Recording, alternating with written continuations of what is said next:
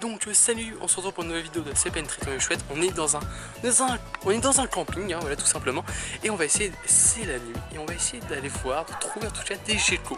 Donc pas n'importe quel gecko, ce sont des, des tarantes, ça s'appelle comme ça. Hein. Ça vit tout autour de la Méditerranée et ils, ils peuvent s'introduire pas mal dans les terres. Donc là j'en ai vu pas mal hier soir, je vais essayer d'en retrouver ce soir.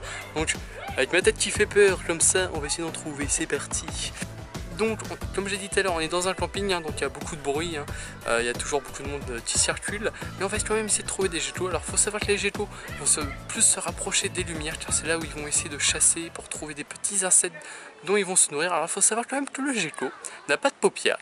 Pour humidifier son œil, il va tout simplement coller sa langue sur son œil, et ça va être sa bave qui va tout simplement humidifier son œil. Et aussi, un grand secret du gecko, c'est tout simplement, il peut s'agripper à de pas mal de matière, même le verre. C'est tout simplement grâce à des petites pelotes qu'il a sous euh, les doigts, sous les pattes, ce sont des pelotes adhésifs. Donc on va essayer d'en trouver, c'est parti. Donc je suis désolé par la luminosité, hein, elle est pas ouf, hein, je l'avoue.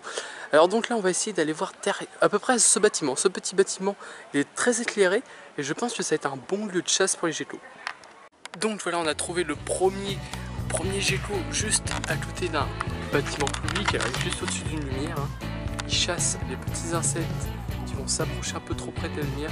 là, désolé, c'est un peu flou à cause de la lumière, ça fait vraiment des contre... Euh, voilà, là on le voit un peu mieux. Donc voilà, premier jet clos trouvé. Franchement, il est magnifique. Alors, c'est interdit d'en prendre euh, par ici et de les mettre dans des terrariums. Donc franchement, voilà, premier jet clos trouvé, c'est super. Donc nous sommes dans le sud et les geckos apprécient particulièrement la chaleur élevée. Donc ça tombe bien, comme on est dans le sud, c'est minimum 30 degrés. Donc là les geckos sont vraiment dans leur milieu. Donc euh, là, assez de blabla, on va essayer d'en trouver, c'est parti.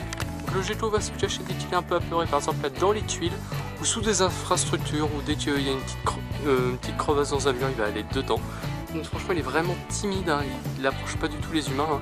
Là vous pouvez, vous pouvez pas savoir à quel point je suis en zoom pour, euh, pour vous le montrer. Et euh, donc voilà, il faut pas, on va, on peut pas vraiment trop s'en approcher, mais j'essaye de faire ce que je peux pour vous avoir quand même des images. Donc on va continuer la chasse, c'est parti. Donc voilà, on est dans un camping hein, et les geckos tout de même là, là hop, à nouveau, juste ici. Donc il y, y, a un peu de bruit derrière. Voilà. Ah franchement il est magnifique. Donc il faut savoir que le gecko peut mesurer à peu près 15 cm, donc là on a encore un nouveau. Ah, franchement ils sont super jolis, et malheureusement ma caméra n'est pas trop faite pour faire des vidéos un peu nocturnes, donc là c'est pas très ouf l'image. Hein. Bon voilà, petit gecko, euh, petit gecko pardon, une tarente. Donc là les gens me regardent assez bizarrement avec la caméra en train de filmer des geckos, donc euh, voilà. Donc les geckos en plein jour vont se réfugier dans des cachettes à l'ombre et quand même pas humide parce que là il n'y a pas trop d'humidité mais ils vont essayer d'être le plus frais possible. Donc ils vont se cacher par exemple là on est dans un camping. Alors comme je l'ai dit sous des tuiles dans des dans des pardon dans des infrastructures. Et là ils se cachent aussi sous justement les mobilhomes des campings. J'ai réussi à vous en filmer un. Je vous montre ceci c'est parti.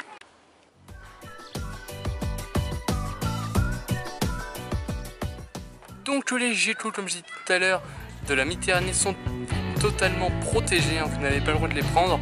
Donc là j'ai essayé de me faire un petit spot lumineux comme j'ai pu en mettant tout simplement la loupe dans l'arbre. Je fais ce que je peux.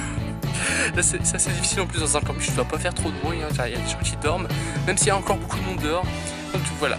Donc voilà, j'espère que cette petite vidéo vous aura plu, n'hésitez pas à vous abonner, à liker. Et si vous avez d'autres justement idées de vidéos, comment dire, nocturnes, voilà, des animaux nocturnes à essayer de filmer, n'hésitez pas. Les commentaires sont à vous, c'est parti, allez, on se retrouve pour une prochaine vidéo, salut